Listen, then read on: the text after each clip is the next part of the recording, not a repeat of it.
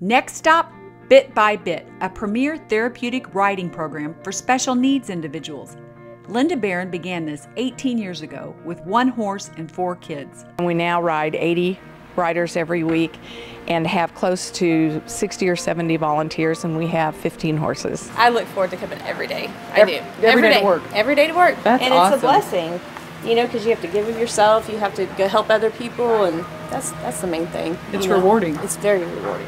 Every time I see our chi- children do anything, uh, verbalize anything, sit up more by themselves, um, become calmer, when I see that, when the volunteers see it, and especially when the family sees it, I think that is the biggest reward is for these parents to see their loved ones doing something that re- they really never thought was possible. So you guys are their moms. Yes. They are precious.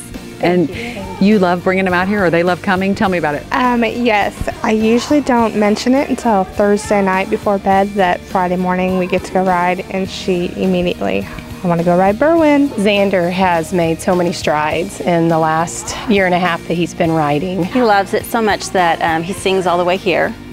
And then one of the few times that he's ever spoken was to a horse, and he told the horse hi. So that means so oh. much to me. Oh. And it's just such a blessing, and the benefits of this program literally for these children last a lifetime. Bit by Bit has a very large heart, and it's filled with hundreds of people that care about our kids and our families and what we do here. All I do is the legwork. Not everybody gets to come to work every day and and feel like you know and laugh and kick around and and and see people And get goosebumps and daily. get goosebumps daily.